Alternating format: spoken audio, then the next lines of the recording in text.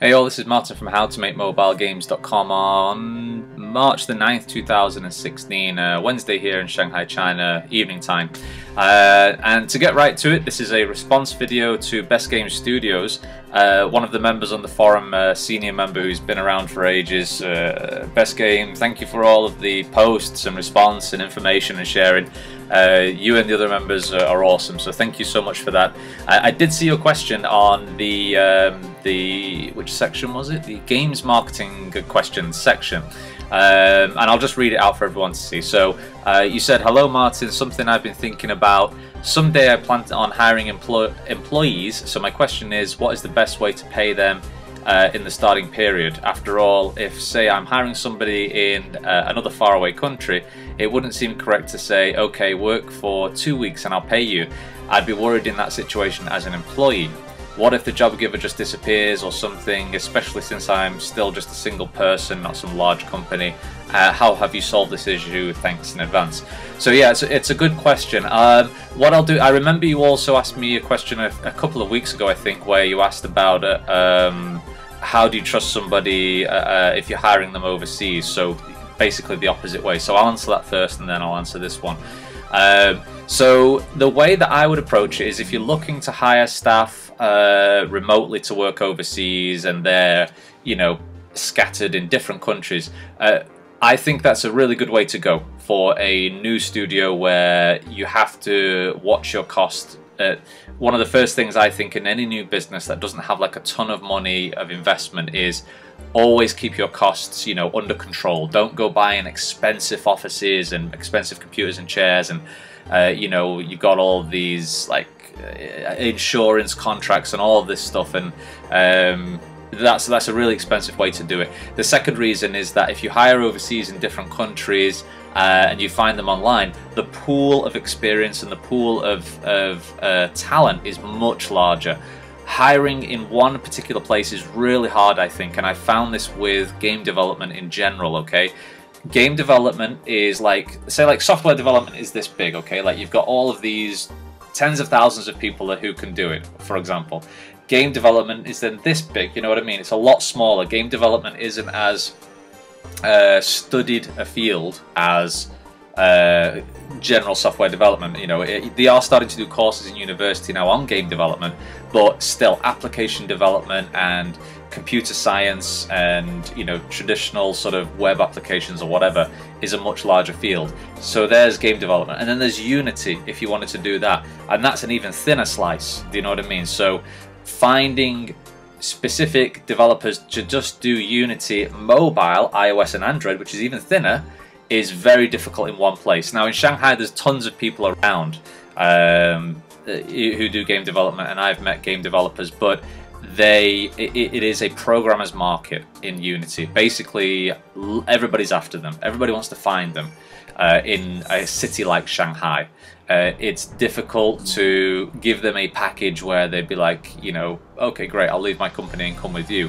And it's very expensive. So it depends on the location. So if you're looking to hire people online, like you're talking about, then that's great. The pool of talent is much higher. And it's great for developers as well because maybe it's difficult for them to find work in particular areas. Uh, and they might be doing their own apps and things, but still, it's much better if they do have like a stable, regular monthly income. So uh, that's just one of the things that kind of dawned on me this past few months as we've sort of done more hiring and we've tried to hire in Bangladesh specifically, but it's been very, very hard to do that. It only worked much better recently and we've got some great guys working with us when we said, okay, fine, we'll just be an online team and we'll, we'll work remotely. Um, so to get down to the question, I'm sorry to, to trail off there. Uh, um, how do you trust them? It takes time that's the only thing. Like what I think your question a few weeks ago was, what if they just run off with the project and then publish it themselves?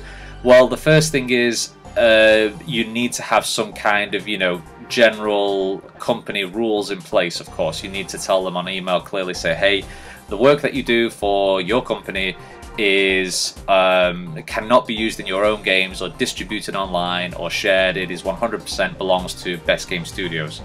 Uh, the other second thing is developers will probably a lot of the time developers will continue to make their own games and projects um, that's probably going to happen anyway in any situation. Like uh, even in my company before in EA Games, the guys who were working as artists, they had jobs on the side as well. Uh, and it, that that's likely to be happening.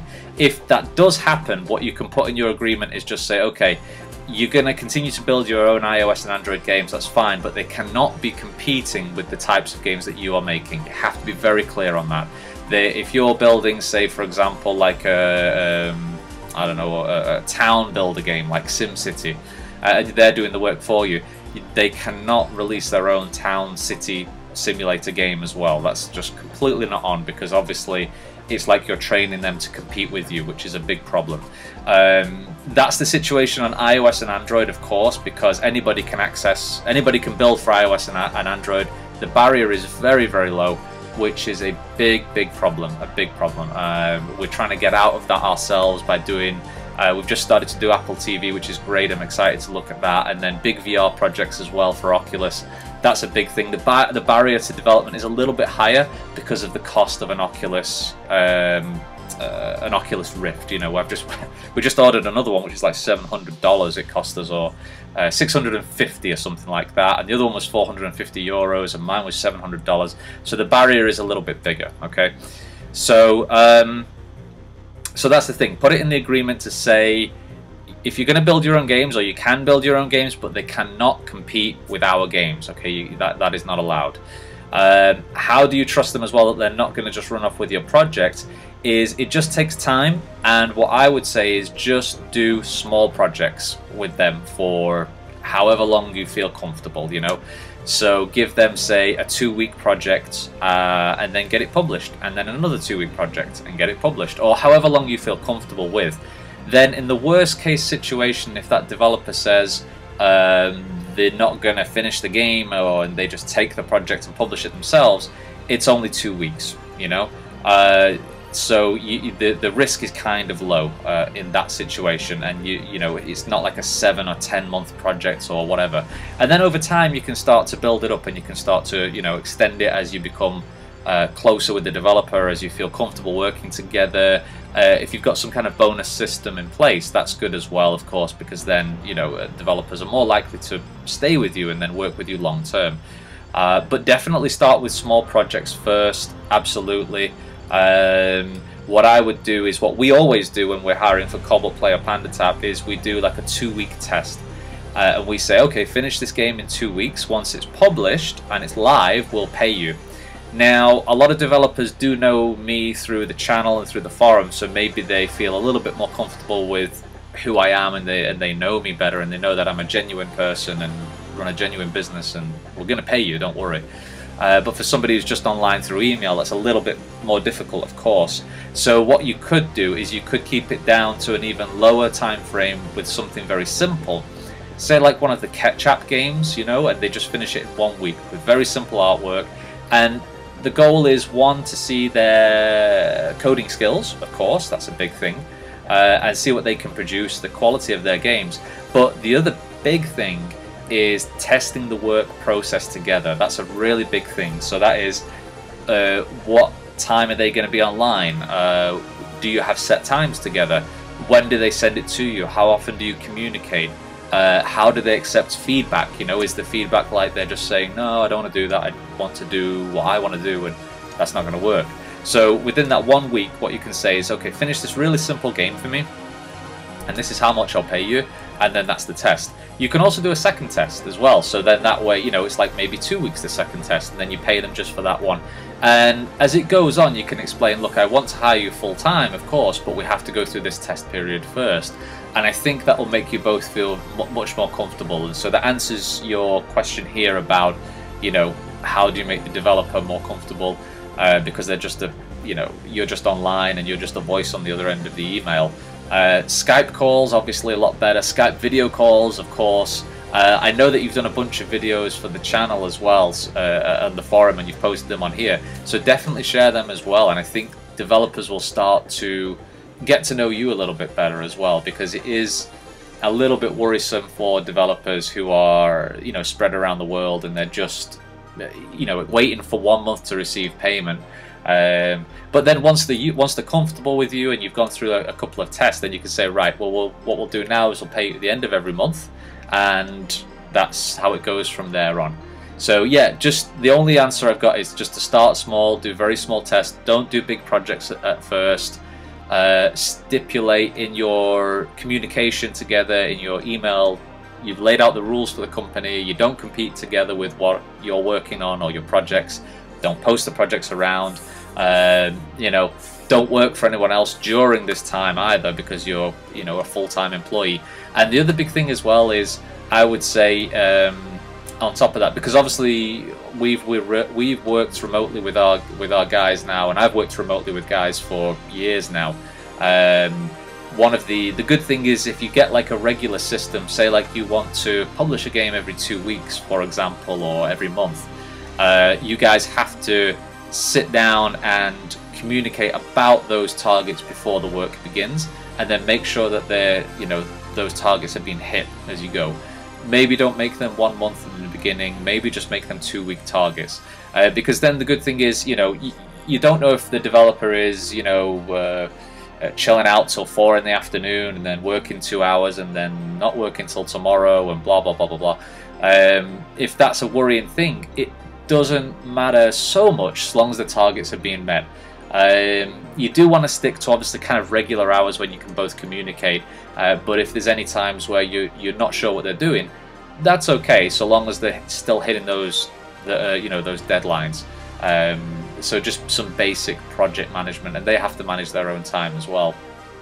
Um, one of the uh, one of the things is as well is uh, just to add to that a separate thing, but make sure that you do have like regular calls uh, with the guy as well or girl, whoever it may be, um, to make them feel like they're part of a team. Because for some developers, working remotely on their own in their bedroom as like a freelance or full time remotely is can be a bit difficult for some people. I know that there was like developers I worked with before, and they've basically had a little bit of trouble working like remotely at home because they've been used to this office situation. Uh, but for some people, it works great. They work, they're happy with it. For me, right now, working remotely in this situation, I don't think I would ever change this now. Like if somebody asked me to go, Martin, you got to start going nine till five, Monday to Friday, to this office. I don't. I, I think I'd have a really difficult time doing that. Uh, but for people who are not used to it, who are used to the office structure and situation, it might be a little bit difficult for them to get into that. So uh, that's just the other point: is make sure they've got plenty of communication. Uh, and then if you do hire a second developer as well, obviously connect those guys together on Skype. Have your Skype group because we have like several Skype groups now, and the guys are all you know chatting together back and forth, asking questions about code, uh, and sometimes just you know just talking and knowing that they're part of a team. That's really important um, because we are. I mean, for example, Cobalt Play now, um, uh, we have me and I'm just trying to count how many guys. One, two, three, four, five. So five guys, Cobalt Play, and then Panda Tap we have two, three, four, five, five guys Panda Tap now as well. So um, uh, obviously, I'm doubling up on those as well. But uh, yeah, so it, it's making sure that you know those guys are all part of a team once you start to grow as well. So, uh, but yeah, let me know if you've got any questions. Best Game Studios, uh, everybody definitely check out Best Game Studios. Uh, links to his games down here on the Google Play Store. Um, I'll just click on them as well. I think maybe it will open the page, but mine is very, very slow right now, so just give that one second. Uh, but yeah, thank you for all of the uh, the posts as well, of course. Or I've seen some of the videos, and you're talking about you know your journey towards opening up your own studio, which is awesome. Very, very cool to do. Uh, more videos coming soon, guys. More response videos. Big focus recently for us is uh, obviously, continuing to build and improve our iOS and Android games, getting better at that, getting better at ASO as always super important, but also the new platforms, VR, Apple TV, uh, looking at Amazon Fire TV eventually, Mac builds, uh, all of these different platforms that we're just not touching, and hopefully trying to get some of those platforms where the requirements are higher, where the, the barrier to entry is higher, so there's less competition because Android, especially Google Play, is just extremely crazily uh, competitive right now because the barrier to entry is so low. Uh, so there you go, Best Game Studios guys. You know, check out like Ragdoll Physics, uh, Push the Ragdoll, My Little Unicorn. Uh, they get Ukraine War as well. The games from Best Game Studios. Uh, thanks again, guys. More coming soon, and I will catch up with you later. Happy developing. Bye bye.